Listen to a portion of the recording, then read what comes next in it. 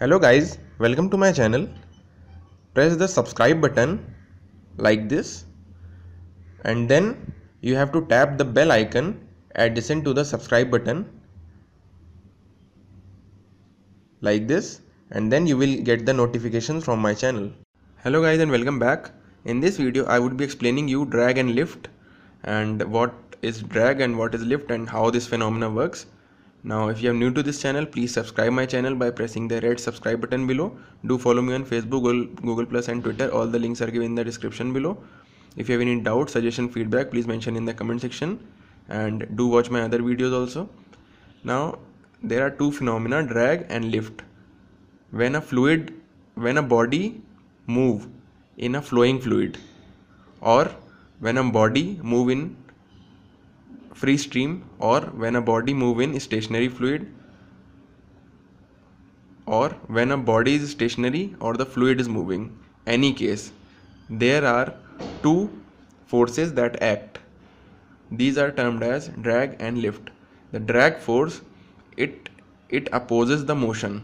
That is if a body tries to move so drag force will be against it to oppose its motion to retard it that is known as drag force. And lift force lift force is created because of the pressure difference. Now a common very uh, highly useful designed um, designed device is aerofoil.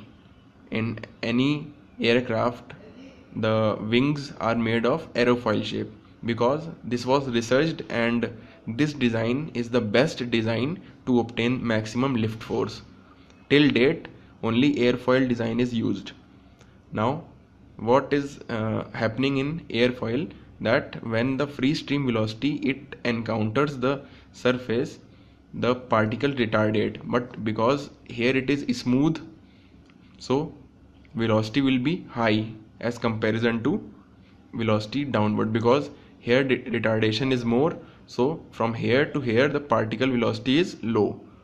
Now from Bernoulli's equation we know that uh, if pressure head rises velocity head decreases and if velocity head decreases pressure head rises. Similarly here because there is no more obstruction so velocity is high and hence the pressure will be low. And here the obstruction is very large so velocity will be low and pressure will be high.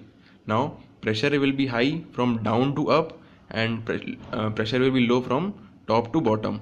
So the net pressure will be acting from bottom to top.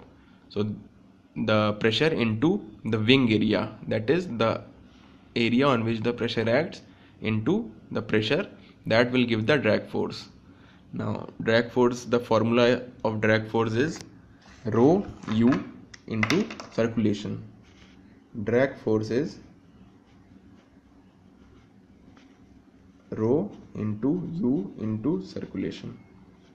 Now rho is the density of the flowing fluid u is the free stream velocity and rho is the and gamma is the circulation that is vorticity into area. And it is given as the line integral of the velocity.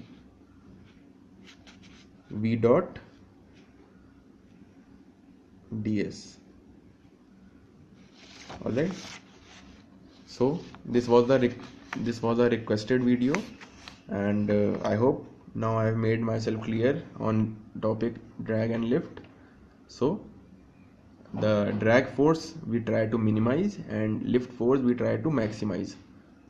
And uh, by this phenomena only all the aircrafts and uh, helicopter or anything which can fly even the birds they have also the wing in shape of aerofoil.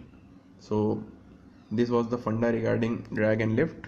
If you have any doubt please mention in the comment section.